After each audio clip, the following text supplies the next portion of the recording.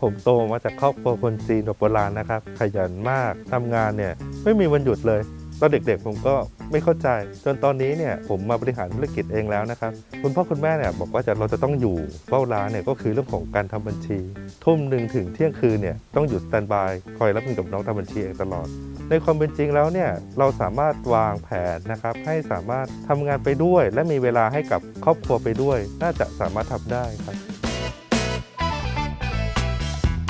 ตู้ Tiger Cash Box เนี่ยนะครับก็คืออยากจะผลิตตัวที่ทำหน้าที่รับเงินแทนเรา เวลาน้องมาถึงปุ๊บเนี่ยเราไม่ต้องอยู่ร้าน ให้น้องเนี่ยมาทำการฝากเงินที่หน้าตู้ได้เลย ในส่วนของตัวเทคโนโลยีที่ Tiger Cash Box นำมาใช้นะครับก็คือเทคโนโลยี FinTech บวก IoT นะฮะสามารถมอนิเตอร์ได้ตรวจสอบได้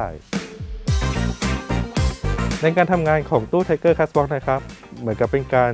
ยกตู้ฝากเงินของธนาคารนะครับมาไว้ใช้ในองค์กร เวลาน้องต้องการส่งยอดครับ มาทำรายการหน้าตู้ได้สลิปเป็นหลักฐาน ส่วนเจ้าของร้านครับ ใช้ mobile application เพื่อทำการมอนิเตอร์ว่าใครเติมเงินเข้า ยอดเท่าไหร่ได้แบบถูกต้องชัดเจนผู้จัดการนะครับ จริงๆก็เป็น pain point หนึ่งที่สามารถเกิดได้ในองค์กร เราไม่จำเป็นต้องให้กุญแจกับผู้จัดการนะครับ เพราะถ้าเกิดว่ากุญแจอยู่กับผู้จัดการเนี่ย เราไม่รู้เลยว่าผู้จัดการเนี่ยจะไปเปิดตู้ตอนไหนตอนกี่โมง ตู้ Tiger Cash Box ครับ มีเทคโนโลยีการเปิดตู้ด้วยระบบ OTP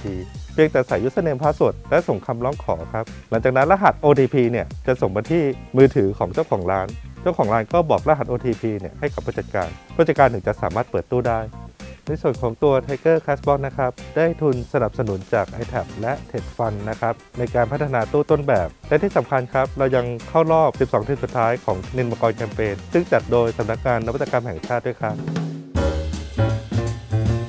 กลุ่มเป้าหมายแรกของเราเนี่ย ผมก็มองเพื่อนเรานี่แหละ ธุรกิจ SME ที่มีร้านเยอะๆ มีสาขาเยอะๆ เจ้าของไม่ได้อยู่ร้านเอง แต่พอมีสถานการณ์โควิด -19 นะครับทำให้กลุ่มเป้าหมายแรกที่เราตั้งเป้าไว้นะครับ เกิดการชะลอตัว ดังนั้นกลุ่มลูกค้าใหม่ของผมเนี่ยก็จะเป็นอย่างเช่น ธุรกิจตลาดปั๊มน้ำมันรถวิ่งเป็นต้นนะฮะจากตู้เดิมเราเนี่ย คนที่จะมาใช้ตู้ต้องมาใส่ username password ซึ่งถ้าเกิดเราเอาลักษณะเนี้ยไปใช้กับลูกค้ากลุ่มใหม่เนี่ย อาจจะไม่เหมาะสม ผมก็ต้องมาพัฒนาฟีเจอร์นะครับ ก็คือการสแกน QR code เพื่อยืนยันว่าใครเป็นคนทำรายการ